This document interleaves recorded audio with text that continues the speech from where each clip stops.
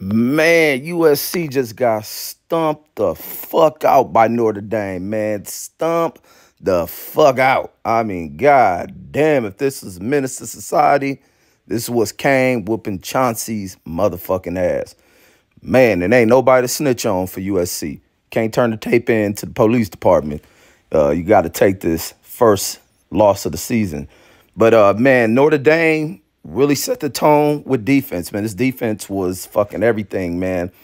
And they really smacked around that offensive line of USC's and got to Caleb Williams, man. Caleb was trying to make shit happen, and all it was result, resulting in is sacks, and he ended up throwing three interceptions in this game.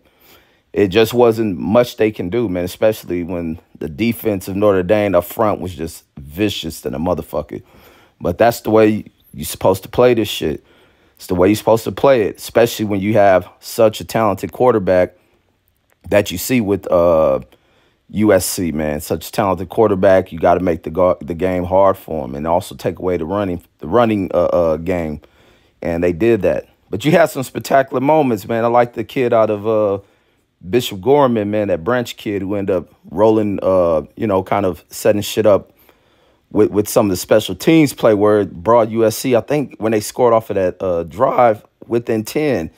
And then right after that, you have Notre Dame run this motherfucking kickback for like 90 something yards, man. And then it just went downhill from that. From there, you had a fumble. David Fools run that shit in for a touchdown. Then in the next drive, they create another fumble. End up fucking.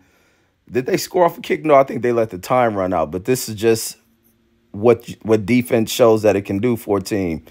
And that's to go in there and pull off incredible wins. But uh, this has been some dope ass fucking football from the high school level as well. Definitely the college level. The NFL shit, I don't know because I don't be watching that bullshit. But uh, that's all I got.